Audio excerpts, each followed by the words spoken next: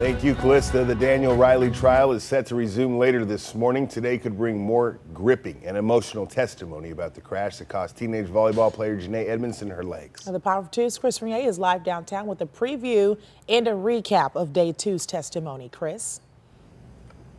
Blair and Ty, good morning to both of you. Janae Edmondson, as well as her mother, could both take the stand today. This trial continues to unfold inside the Carnahan Courthouse just behind us here. Before the trial started, authorities told us it would likely take three days, and this will be that third day. Yesterday, the prosecution called an accident reconstruction expert to the stand. That expert breaking down a computer recreation of the crash from February of last year. The expert testifying that the Audi SUV, which police say Daniel Riley was driving, accelerated into the intersection there at St. Charles and North 11th Streets downtown, speeding up from 5 miles per hour to 45 miles per hour. A Chevy Malibu traveling about 30 miles per hour was approaching the intersection and hit Riley's SUV, sending it airborne.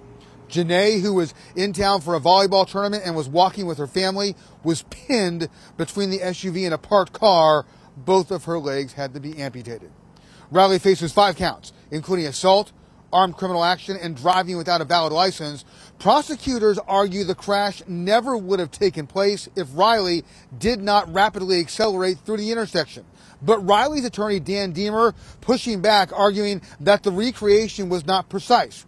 Deemer shifting blame to the Malibu driver and also questioning the police investigation. You will hear from the prosecutor, then Deemer. He's saying even if the Audi didn't touch its brakes at all, as long as it wasn't pedal to the metal, the, the crash would never happen. That's right. And yet the Malibu had still enough force with less weight to lift and start to roll the Audi. That's correct. A Missouri Highway Patrol toxicologist testifying that a blood test revealed Riley had multiple drugs in his system on the night of the crash. Prosecutors also introducing police testimony that Riley showed no remorse following the wreck. We will have to wait and see who the defense might put on the stand after the prosecution wraps up its case. For now, live downtown, I'm Chris Regnier.